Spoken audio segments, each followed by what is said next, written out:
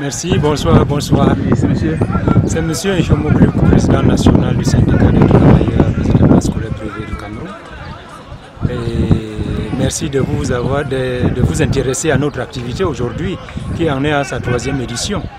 Puisque chaque fois, chaque année, euh, depuis trois ans au moins, euh, chaque fois que nous avons à célébrer la journée mondiale des enseignants, nous voulons quand même profiter de l'occasion pour rassembler euh, des enseignants, des établissements, de certains établissements, euh, pour qu'ensemble on fraternise, ensemble on se partage. Euh, surtout que chacun de nous, dans l'enseignement privé, ait à l'esprit que isolé, nous ne pouvons rien. Nous ne pouvons rien parce que devant nous, il se dresse deux murs qui paraissent même infranchissables. C'est-à-dire le premier étant l'indifférence du gouvernement, euh, le deuxième mur étant l'incompréhension ou alors la cupidité des fondateurs. Il est donc intéressant et important que les enseignants des écoles, des établissements privés en général, euh, se tiennent la main dans la main pour ensemble avancer dans les revendications visant à améliorer leurs conditions de vie. Parce que nous souffrons beaucoup d'une certaine indifférence, nous souffrons euh, beaucoup d'une certaine euh, méconnaissance de notre activité.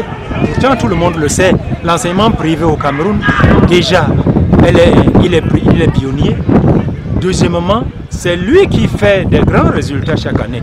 Mais il se trouve malheureusement que la société lui réserve une certaine ingratitude. Et c'est dommage. Le syndicat des travailleurs dans les établissements scolaires privés du Cameroun, que j'ai l'honneur d'animer, a pour ambition d'amener tous les enseignants à se mettre ensemble et à revendiquer ce qui leur revient de droit. Et vraiment de façon organisée. Et c'est pourquoi, dans notre action première, nous avons la formation, l'information des travailleurs vis-à-vis -vis de leurs droits, leurs devoirs, pour qu'ils soient efficaces quand même là où ils sont. Et je profite d'ailleurs de l'occasion pour euh, annoncer que le 3 prochain, le 3 prochain, nous allons organiser une conférence euh, qui aura pour thème l'apport de l'enseignant des privés euh, pour la promotion du travail décent en vue d'une éducation de qualité.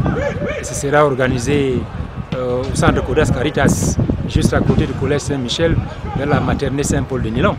Euh, je vous exhorte déjà, je vous invite déjà, vous les journalistes, à venir nous appuyer par euh, euh, votre présence et par la médiatisation de cette activité.